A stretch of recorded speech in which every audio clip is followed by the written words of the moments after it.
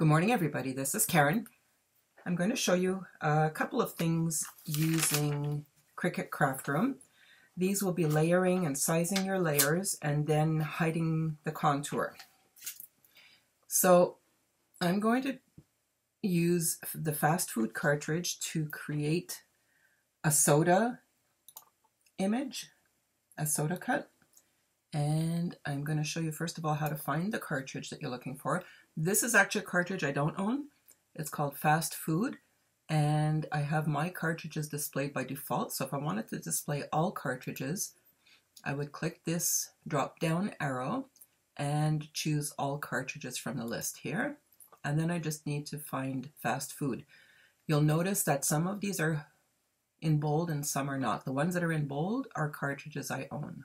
So you see, I don't own that many.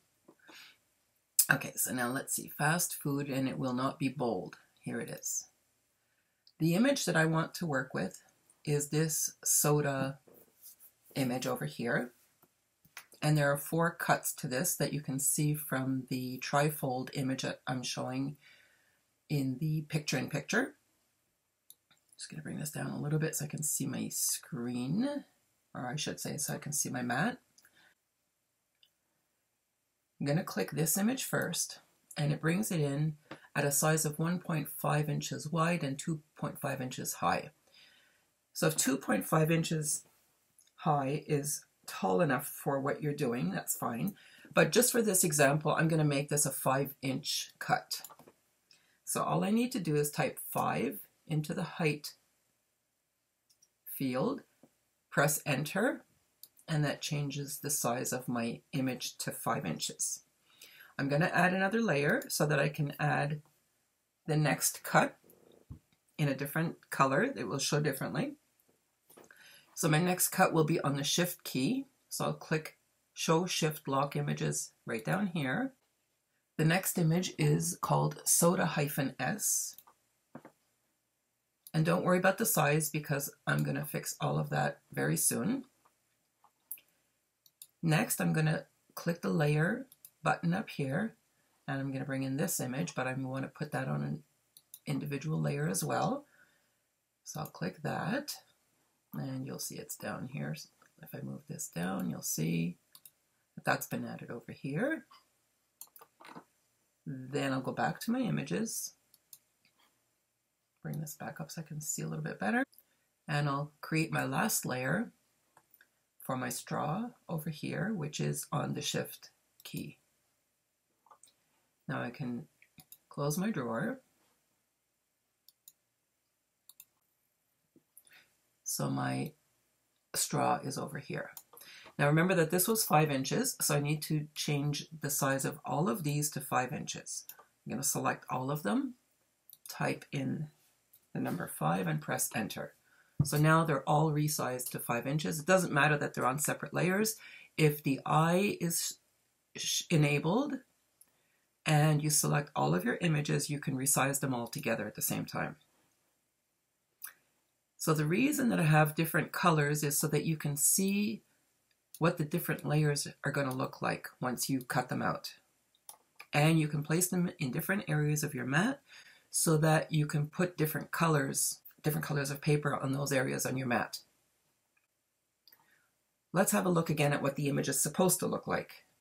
I want to have a look at how they put it together. And so to find the handbook, I have typed Cricut Fast Food Cartridge in my Google search bar. And I'm going to click this link over here, which is the Cricut shop. And from here, I can choose click here to read the product details and I can see a lookbook which shows me various images. So this is the image right over here. I'm circling it here. So it's got a cream colored lid and belly bar, whatever you want to call that. Um, and then the cup itself is green the inner part of the cup is a tan color and the straw is red. So I'm going to do those the same way to show you how that's done. So back in Cricut Craft Room, I'm going to change the colors of my labels, of my layers. As you can see, the easiest to figure out so far, if we go back to the image, you'll see that that portion is cream colored. So in Cricut Craft Room, I'm going to change the color of this layer by clicking the red layer color button. And I'm to go to brown and then try to get a cream color. It's to be a little bit difficult. Let's make it a tan color. Um, and I'm to apply that. So there's my cream color, supposedly. Then the next part, this will end up sitting on here.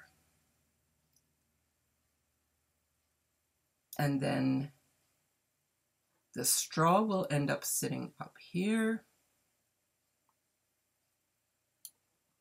And all of this together, whoops, not all of that, this part will end up sitting over here. So the red part is what's showing as 10 over here. This little portion over here. So I'm going to make that that red part a little bit of a darker brown, not dark dark, but darker than what we've got right now for the 10. Bring it in there and apply that. So now you can see that that's a tan color. So go back to the image. The straw is red. So I'm going to change the green to red. And then the last part in the image is the green part and that is what is orange over here. So the orange, I'm going to change to green. And we're all set, except that it looks a little bit off. Let's see. I'm going to ungroup those. Well, they weren't grouped, but anyway. Uh, let's see, bring it like this. Okay, that's it. That's going to work just fine. You can go back to the image over here, and you can see that's how they've got it looking a little bit different here. It's a little bit taller in this portion, but that is how this works out. So now I can move all of these around so that I can cut my, my darker brown piece here, my lighter tan piece over here. I'm going to move my green cup down to here, and I'm going to move my straw over to here. So what I can do now is I can take pieces of paper that are going to fit in these squares, which are six by six, put them on my paper, and then when I cut this out, they'll all cut fine. So now you don't have to cut this as a darker brown and a tan and a green and a red. You can choose whatever colors you want. I was only doing that so that you can see how the different layers work together. So, you know, if you want this part of the cup to be purple, then you you can change the color here if you want to see it but you don't have to because you're going to be cutting this from paper. So what you do is you just put purple paper here. But what is an advantage to changing the color on your screen is that it will remind you or what color you wanted to put on your mat. So that's all there is to it. Now I can't cut this because I don't have the image, but that explains how you would layer your pieces, how you would resize them. The next thing I'm going to explain to you is how to hide a contour, which is how to cut, how to hide a cutting line. All you need to do is select your image, click Hide Contour, and then as you move your mouse over the image, the different cutting lines are going to be displayed in red. Whatever you want to hide, for example, I'm going to hide this part so that that doesn't cut as well as this part and this. And you see that they're now a lighter gray. This is still black when I move my mouse away and so is this. So then I click exit and you'll see those lines are no longer showing up. If you change your mind, go back to Hide Contour and click on them again. That will redisplay and recut your, those lines. Try it on another one. Let's say that you only wanted to cut the rim of this, or if you wanted to do different colors, this is how you would do that. I'm going to move it down so you can see better. I will go and click Hide Contour. And for now, I just want the rim. I want the rim one color and I want this piece a different color. So I'm going to hide the contour and click exit. So now this is only going to cut my rim.